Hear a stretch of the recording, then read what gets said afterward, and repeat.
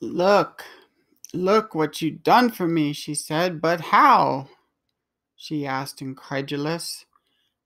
I didn't have any answers. I couldn't deny it. But she knew now my intentions were golden. I want to thank you, she said. You have the magic touch.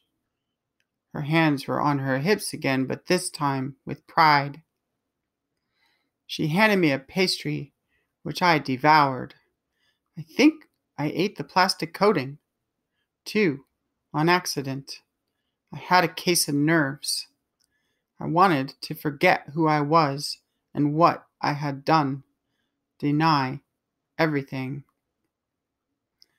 Chapter 12 She put me to work.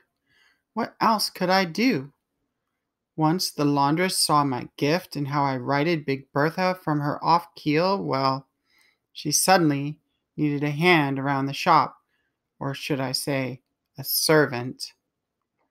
I was thankful to answer to someone and be given some direction in my aimless state, to have a purpose and a solid way to pass the time, and an alibi.